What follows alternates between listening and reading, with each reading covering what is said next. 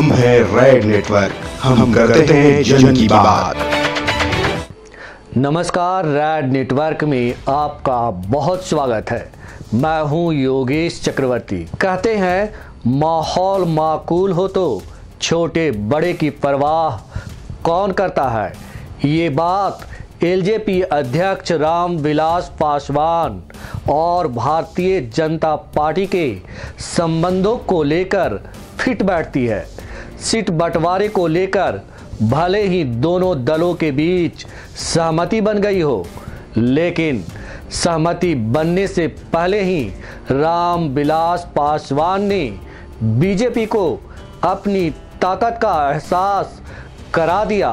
जो बीजेपी विधानसभा चुनाव से पहले सहयोगियों को सम्मानजनक सीट देने की बात करती दिख रही थी, वो कुशवाहा के जाने के बाद पासवान को मनाने में जुट गई। बिहार में एनडीए के लिए कई मुश्किल है, जहाँ जेडीयू को बड़ा भाई मान लेने के बाद भी गठबंधन का नेतृत्व कर रही बीजेपी के लिए जंग आसान नहीं है। विधानसभा चुनाव के नतीजों के बाद अब एनडीए के लिए अपने वोट बैंक को बरकरार रखने की कठिन चुनौती आन पड़ी है। पिछले दिनों सुप्रीम कोर्ट के अनुसूचित जाति कानून में संशोधन के बाद दलित विरोधी सरकार होने के आरोप झेल रही बीजेपी को अगले चुनाव में दलित वोट छिटकने के आसार हैं। ऐसे वक्त में दलित नेताओं के तेवर उसे और परेशान कर रहे हैं। मांझी और कुशवाहा के जाने और आरपीआई के रामदास अठालवे की बयानबाजी ने उसकी परेशानी को और भी बढ़ा दिया। अब बीजेपी फ़िलहाल कोई जोखिम नहीं लेना चाहती, इसीलिए पासवान को किसी भी हाल में खोना नहीं चाहती। उपेंद्र कुशवाहा के एनडीए से जाने के बाद पासवान की अहमियत बढ़ी है। यही वजह है कि पासवान ने दबाव बनाकर सात सीटों की मांग रखी। फ़िलहाल जो सहमति बनी है, उसके मुताबिक बीजेपी और जेडीयू सत्रह सत्रह सीटों पर, एलजेपी छः सीट पर चुनाव लड़ेगी। इसके अलावा राम बिलास पासवान राज्यसभा जाएँगे। एक तरह से पासवान की बात अमित शाह ने मान ली और नीतीश को भी इससे इतराज नहीं है।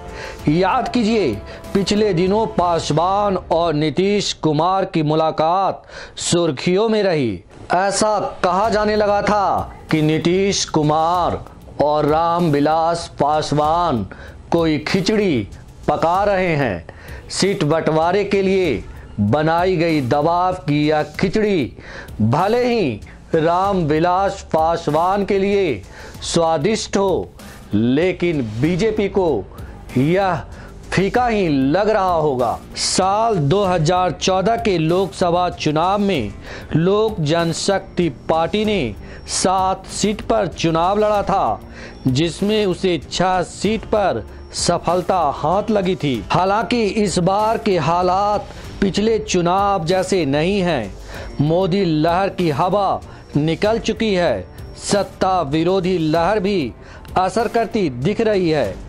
तेजस्वी ने अपनी मेहनत से ज़बरदस्त मौजूदगी दर्ज कराई है। खुद पासवान समाज में भी लोक जनशक्ति पार्टी को लेकर नाराज़गी की खबरें आई है। यही नहीं राम विलास पासवान की खराब सेहत भी काम बिगाड़ सकती है। चुनाव प्रचार में इसका असर पड़ सकता है। ऐसे में पासवान के साथ साथ एनडीए की भी राह आसान नहीं होगी।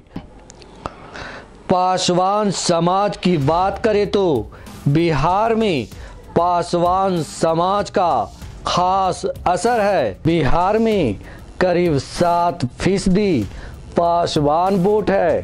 पिछले लोकसभा चुनाव में लोक जनशक्ति पार्टी को छः दशमलव चार फ़ीसदी वोट मिले थे।